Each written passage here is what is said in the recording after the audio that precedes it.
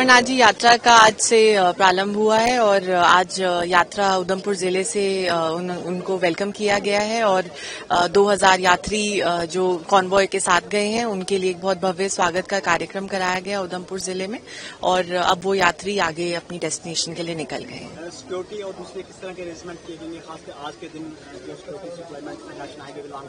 हमारी सिक्योरिटी बंदोबस्त पूरी इन प्लेस है और सभी सिचुएशंस को ध्यान में रखते हुए हमने एक्स्ट्रा डिप्लॉयमेंट भी डिप्लॉय किया हुआ है। तो सभी तैयारियाँ हो गई हैं और यात्रा सेफ़ और स्मूथ रहे। इसमें हमारी पूरी एडमिनिस्ट्रेशन लगी हुई है। आज, श्री अमरनाथ यात्रा जो यहाँ से प्रारंभ हुई है, जम्मू भगवती नगर से स्टार्ट होकर, ये बालटाल के लिए रवाना हुई है। यहाँ टिकरी के अंदर जिला प्रशासन के अधिकारी हों, यहाँ पर हमारे स्थानीय लोग हों, सबने पूरे मन के साथ सबका यहाँ पर श्रद्धालु जितने भी यात्रा में जा रहे थे, सबका स्वागत किया है। और आज जिस प्रकार से सुरक्षा को लेकर पूरे प्रबंध किए गए हैं, मुझे लगता है एक एक चीज़ को बड़ा मिन्यूटली चेक करते हुए सारी व्यवस्थाएँ की गई है।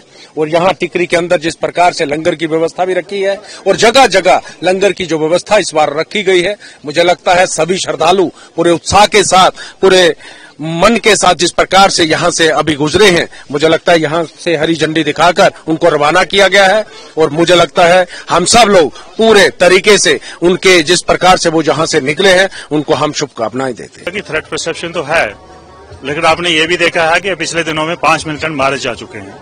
कठुआ में दो और तीन जो है डोडा में मारे चुके हैं। हमारी सिक्योरिटी फोर्सेज जो है, इसके ऊपर काम कर रही हैं। जहाँ तक ताल्लुक रहा कि ये यात्रा की सिक्योरिटी उधमपुर डिस्ट्रिक्ट में।